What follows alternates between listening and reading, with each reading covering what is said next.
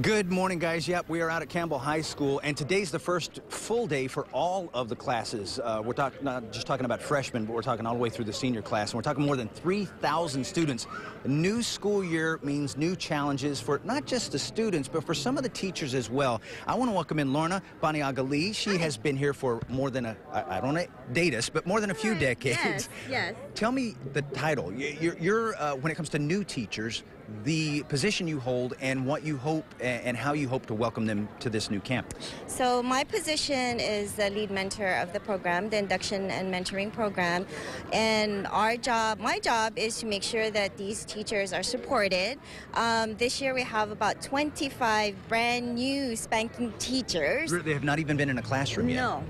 No, so this is their very first year, and our job at Campbell High School is to make sure that they're supported in order for them to help the students succeed. So we have a program in place um, to help them um, transition through their uh, first years of uh, teaching, and that is crucial in order for us to keep these teachers here because, yeah. you know, of course, they're the heart of, of everything. Yeah. It, it is vital for that. And so, as Lorna was saying, a lot of new teachers, and then they're going to be teaching a lot of these young students. Shayna de Guzman, she's basically a student body president.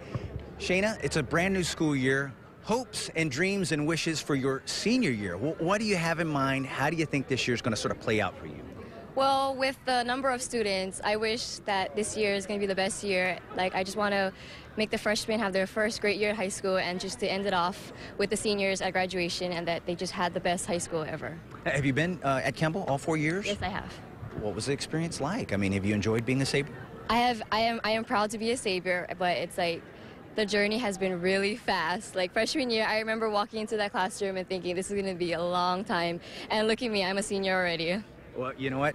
Enjoy your senior year, Shayna. I know there's going to be good stuff to come. And guess what? As part of uh, the ceremony, as part of welcoming all the students onto the uh, campus, uh, they actually have the band out in full force to play for them this morning. Uh, just sort of a welcome back to school uh, for the 2015-2016 school year. So we thought it would be really cool to go ahead and let the band play a little bit for you guys, uh, you know, for all the students that are headed back to school. Check this out.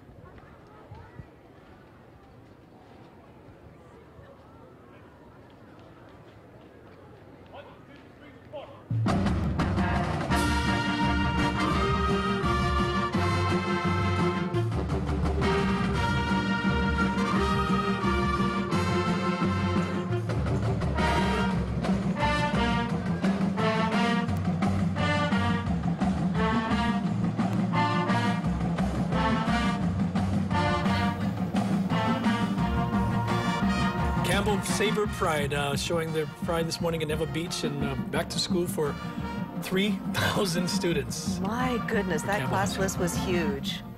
All right.